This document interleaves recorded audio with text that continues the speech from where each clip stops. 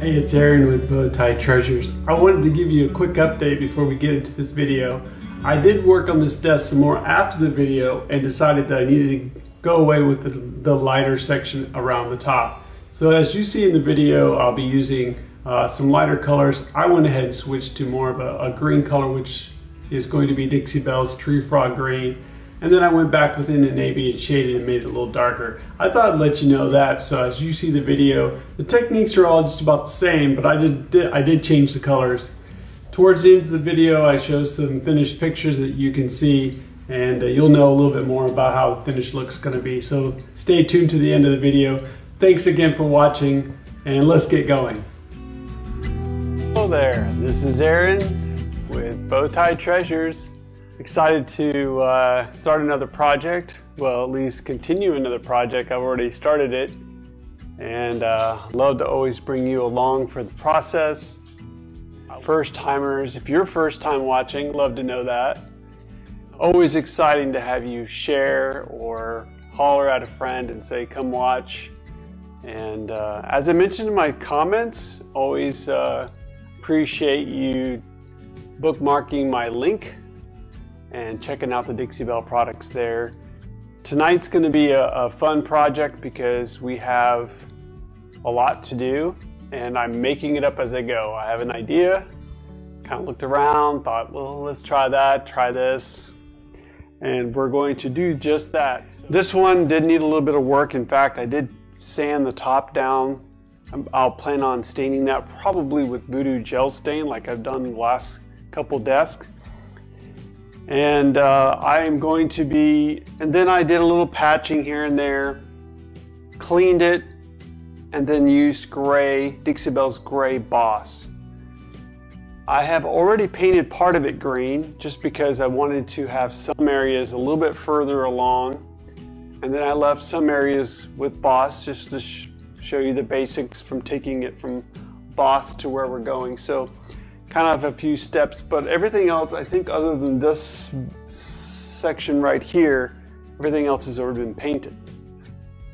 Now I will tell you that I can't tell you exactly the mixture combination for this color. I did not have a dark enough green for what I wanted to do, so I just mixed one. I started with evergreen. Let's see if that'll pick evergreen. And then I thought, well, let's darken it up, but I didn't want to darken with black, and I wanted to keep some blue in it, and green has blue in it. So I chose to use Midnight Sky. I would probably guess that I did about three parts evergreen and one part midnight sky. Again, that's a guess, as I would recommend they just mix it up, maybe use measuring cup. But I pretty much just emptied out an old container of evergreen and then added some, some midnight sky. And it gave me a really nice dark, darker green. And I, I think it's looking really nice. It's gonna be just a good base for what we're doing. I'm going to be plan, my current plan is to kind of do a layered gradation, not blended per se, but just layers of color from a dark to light. I pulled out, so we'll use evergreen straight up, probably over the darker mixture. And then I also have farmhouse green. And then I think I'm gonna go ahead and use the midnight sky for some darkening and shading. So you can see how all the colors are just gonna work out together. Right. So tonight I, well, let me just show you. I wanted to have a container and so I just poured my paint in this container and then I tonight after I used part of it, I put it in, down in there. I didn't 100% thoroughly mix it because this is just a base coat. It's not the finished finished color and I'm not planning on using this mixture as a as a final coat. It's just a nice way, to be honest with you, sometimes it's a nice way to finish out a couple things of color. You know, you've got a little bit of this color, a little bit of that color, just mix them together. Because sometimes, for example, if I were painting evergreen, I could just use this mixture and then put evergreen over it. You know, chalk paint, because you're normally doing oftentimes two colors, it's just a great way to uh, to use up some paint. But I did want a darker green and I didn't have the darker green. I've since put it on my list to order some, but for the most part, I think it looks really nice. I'm trying to see if my camera, there we go. And so what I need to do at this point is put it on there. The paint I have is a little thicker mainly because it's been around a little bit so it's a little drier. You can always mix a little bit of water in your chalk paint and that'll, but I'm just using my mister bottle to, to loosen it up and that's doing quite well.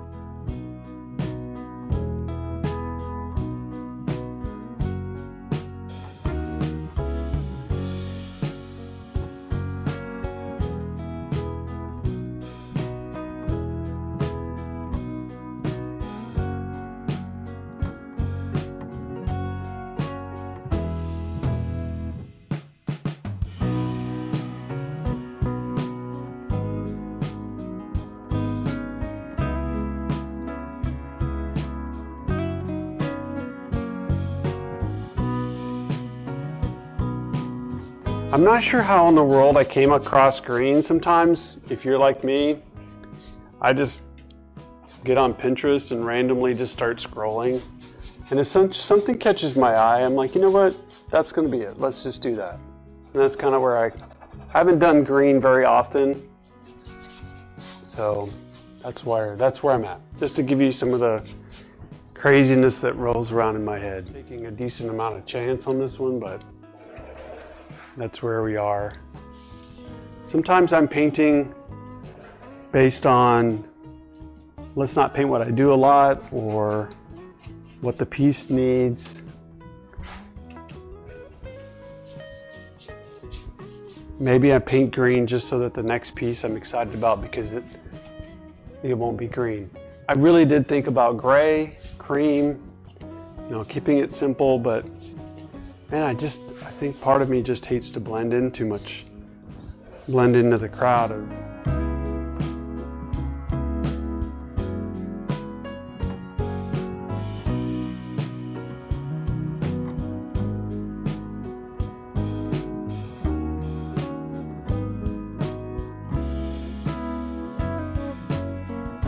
The Dixie Belle's Tropical Leaves but since I'd put a transfer on my last desk, I really didn't want to do it again.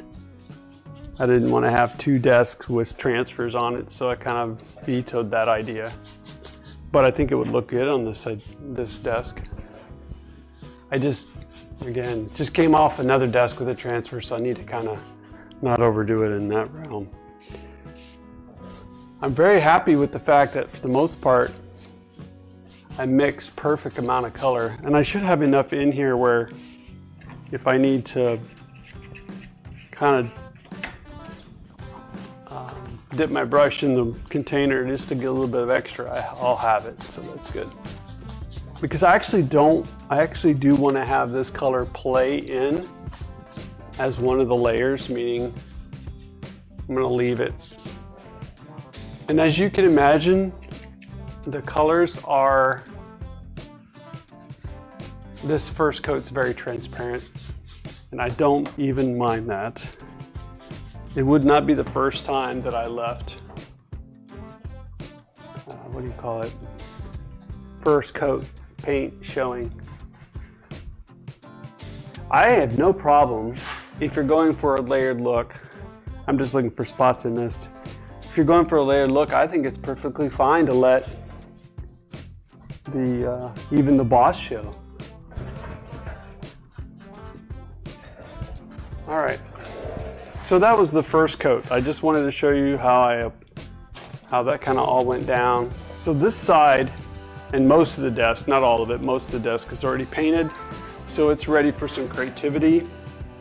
And um, I think what I'd like to do is just kind of work our way down and I'm going to keep these layers fairly loose, and I want to say wash based.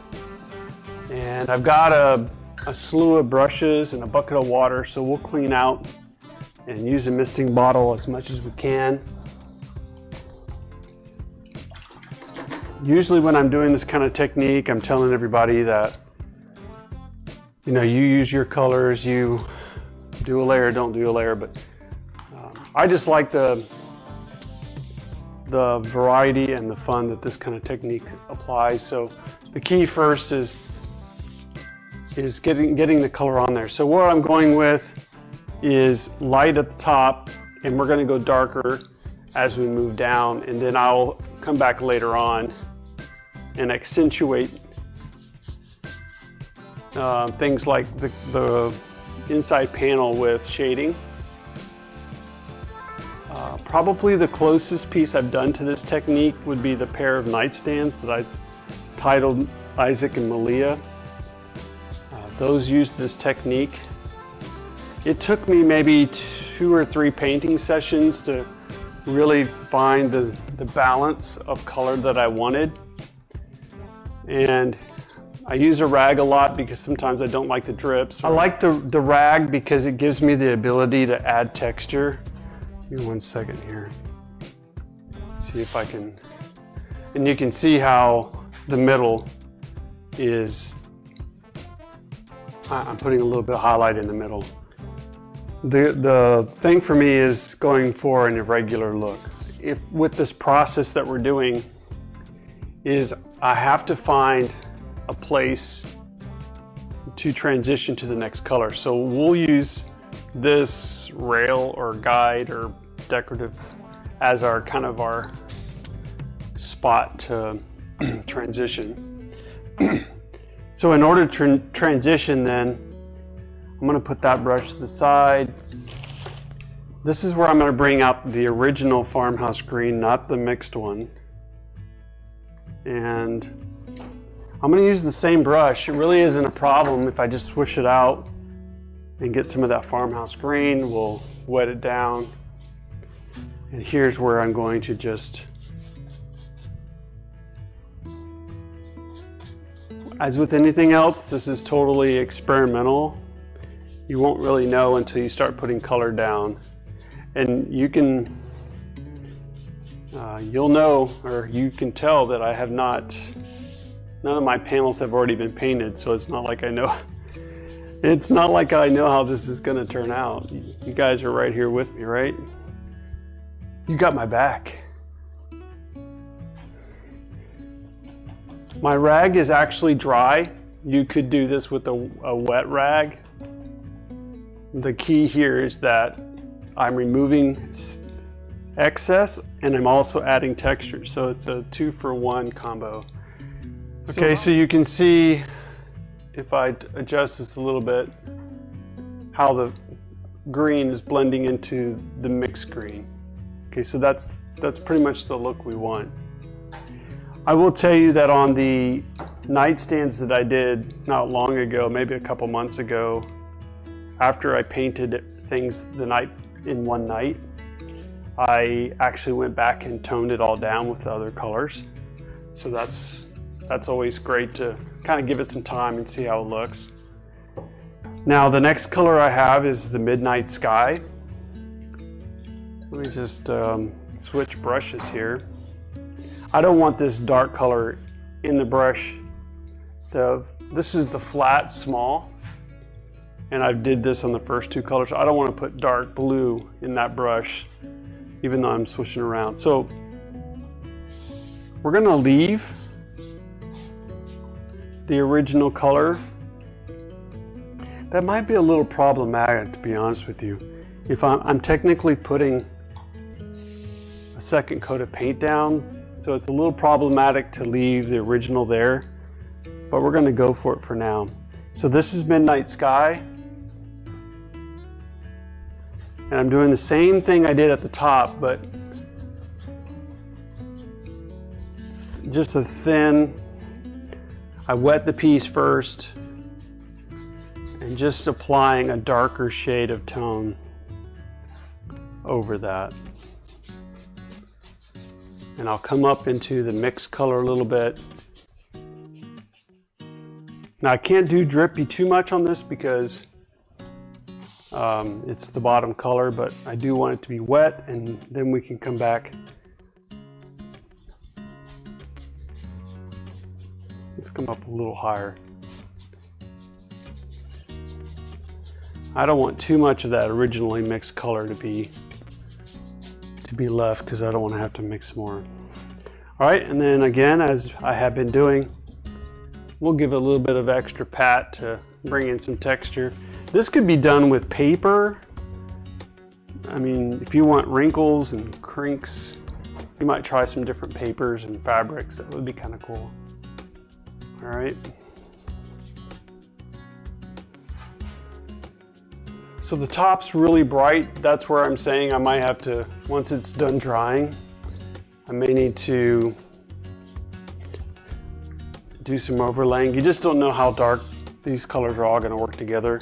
And I'm looking at my camera there to see what you are all seeing.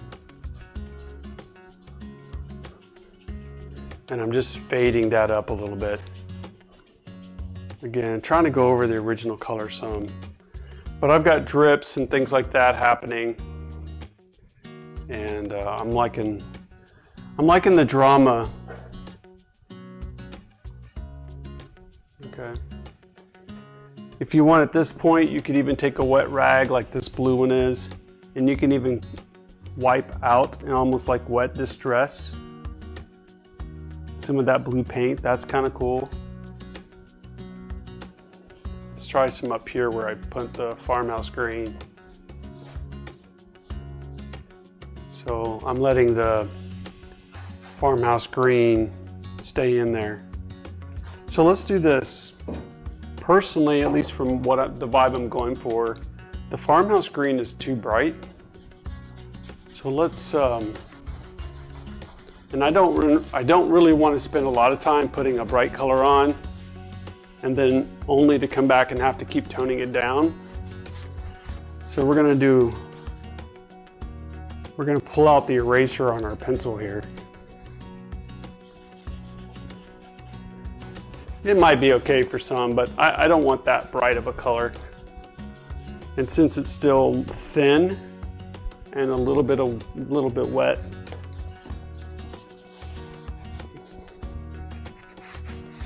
let's wipe that off. Okay, so we're gonna try mint julep.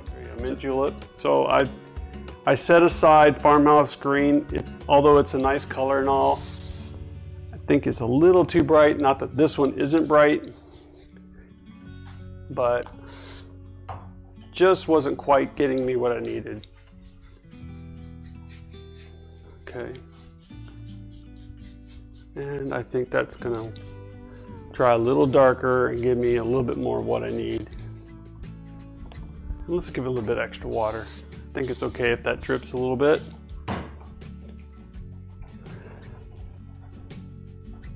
I don't want hard lines. That's why I do a lot of the padding and things like that. Taking some of the color off. And when you do this, what I'm doing right now, if you just go back and give it a little bit of a mist, it'll soften, oftentimes soften that, even the fabric touch that I did. I just don't want this to be too bright. I do want the eyes to move up, but I don't want it to be, and this may require a whole nother wash when I get the whole piece done, but for now I think I feel a little bit better about that. Okay, so let's kind of um, repeat the other side to kind of make sure that our process is totally working right. Water, mint julep. Now don't get me wrong, the other side is going to have a little bit of farmhouse green in a couple areas, but they're on totally opposite sides of this piece, so I think it's okay. Nobody's going to judge me for that.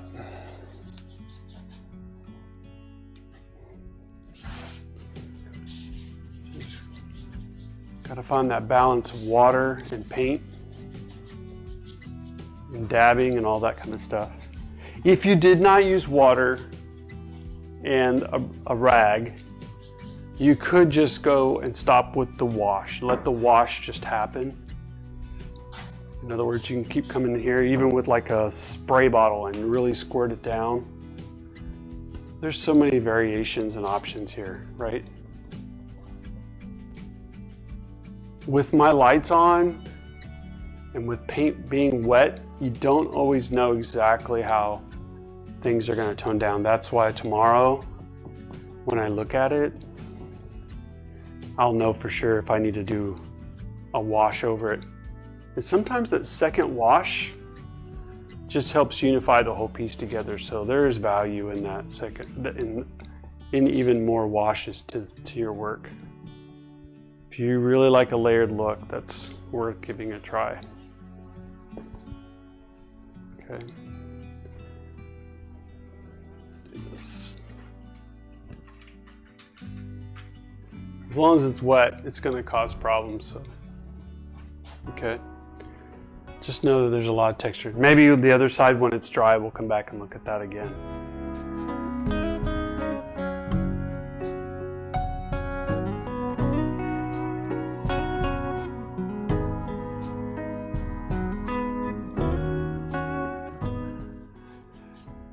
I need to, I have to look at the other side. I forget sometimes how far down I go, you know. But I think that's about close enough.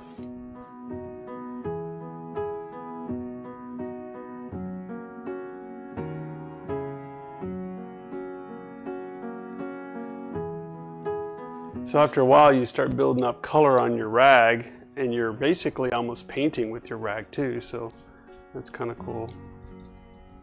And this side's going to look totally different than the other side. So it's best not to stress over trying to make them exactly the same.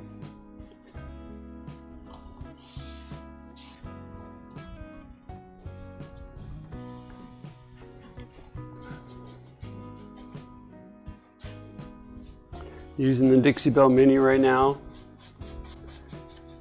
I could probably still use a one inch brush here, but I like how I can fade the get the color on there quicker and fade it up into the other section. Okay. Sometimes for me, the hard part at this point is just remembering, like I did, like the other side, for example, I I wet distressed a little bit around the bottom, so I gotta do that here. And I like how that's peeking through. Maybe get a little texture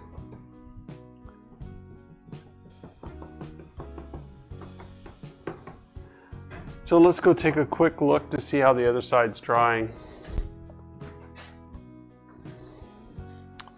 And I think it's coming along. So this is the first side we painted. and You can see it's still a little wet. I'll keep an eye on the top. Not 100% convinced it's perfect or not perfect. So we'll just keep going here. I might find tomorrow that it needs to be toned down or brightened up and we have a lot of options. But more than likely I'm, I'm going to try if it all works out I'll stay within the same color palette. Meaning I'll use evergreen to tone down the mint julep. Not that I couldn't do yet another color but after a while you start having so many colors in your palette and you it gets confusing, you know, like if I was trying to explain you in hindsight what I did, the more colors, the harder it is to keep track of. I kind of feel bad sometimes on these desks like this. Same thing I had with my steampunk desk was I did all this work on the back, you know, I kind of feel like under what the odds is that the next person's actually gonna display that use the desk in such a way that you can even see the work I did on the back. So you kind of you have to decide for yourself if it's worth doing all this work on the back. But to me, if the back, um, I'm trying to say is, if it's a finished piece, then I'm going to paint it. Not all furniture has a back that is finished. But this desk is meant to just be seen from two sides, so that's why I'm painting the back. I normally would not paint both sides of a piece of furniture, but if it has like decorative elements, then it was meant to be two-sided. So I could see someone using this as a welcome desk, maybe in a salon or in a business, like a check-in table. it doesn't take a lot of work to do, but I'd rather do that than not paint the side. Now, if it was a commission piece and the person said, hey, will you paint this desk for me? I don't, I'm not planning, then I wouldn't really stress too much about the back.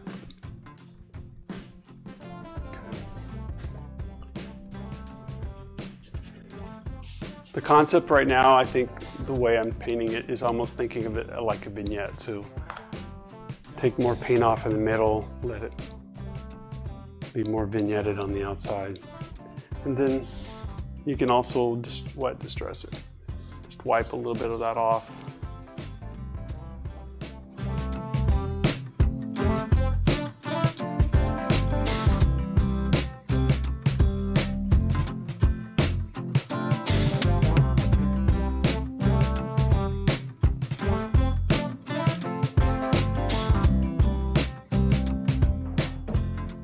Not putting a lot of paint, a lot of evergreen back on here.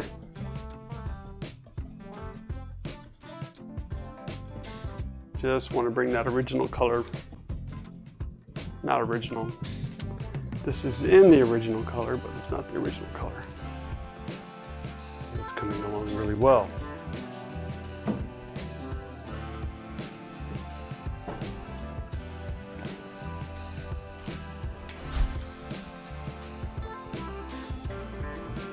Really like the um, midnight sky color as the base color.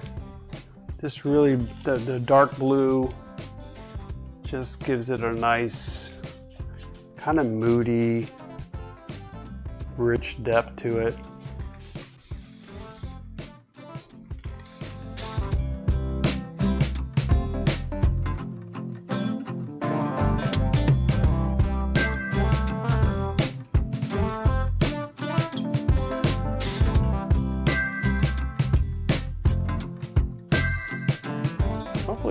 Through on the camera. I think I think it's looking like it is. And you can see on the two different sides, just as comparison, how that blue's giving that that look that I'm going for.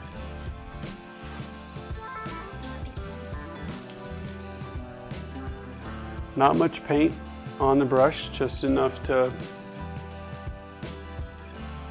just a touch. Because if you put too much on there, then you're you're going to lose that underlying texture group. And it's hard to lift that paint off when it's really thick too. So don't put too much down. And then I'm spraying it with the mister bottle so that I can move it around.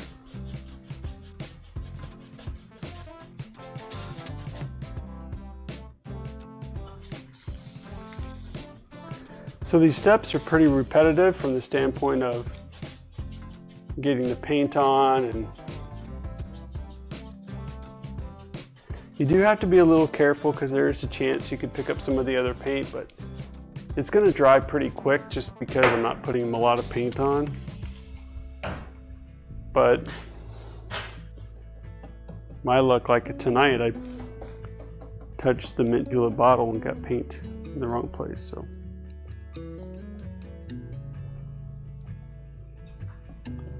So I'm lifting paint out in this area towards the middle more than I am towards the outside. Okay. Step back. So someone's going to want have to want green and a little bit of mood to it, and I think that's going to be cool. Real quick, if I if I can, if my camera will do it, it should. I want to make sure that you can see the original you should be able to see the uh, color or the original. Basically, you're seeing boss and the first wash layer there. Okay.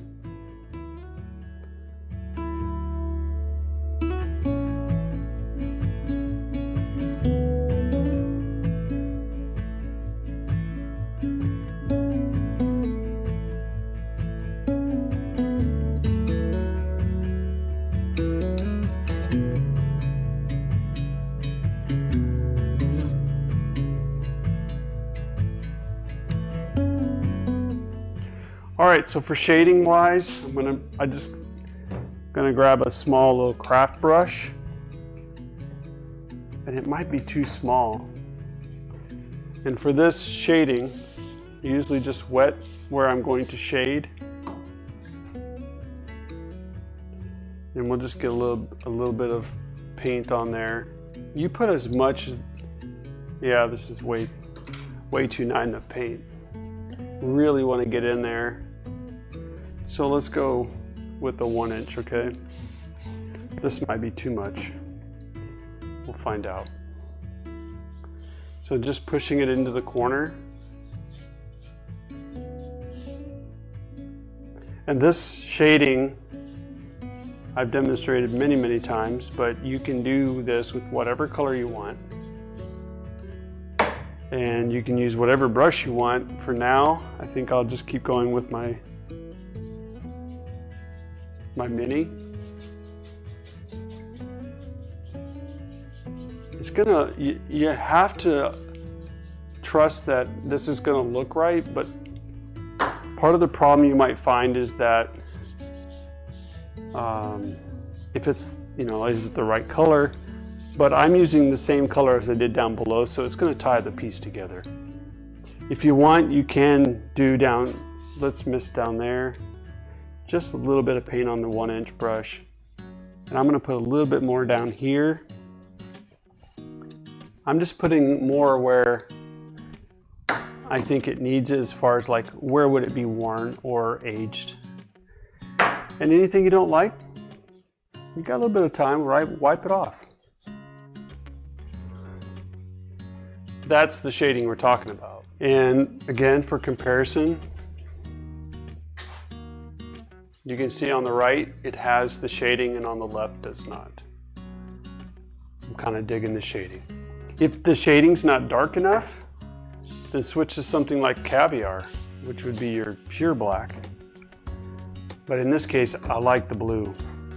It just helps kind of bring it all together.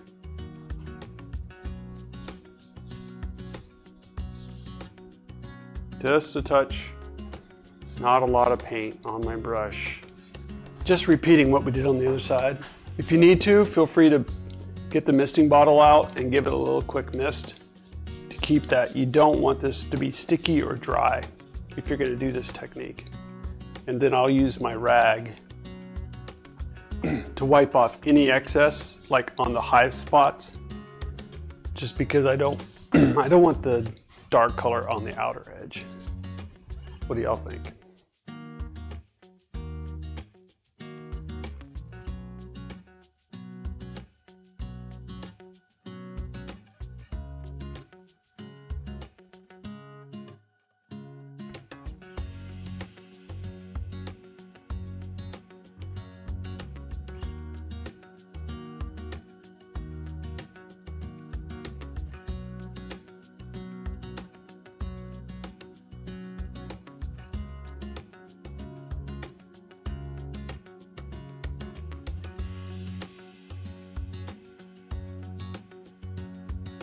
That's the end of the show. Make sure you subscribe and ring the bell before you go. Bye.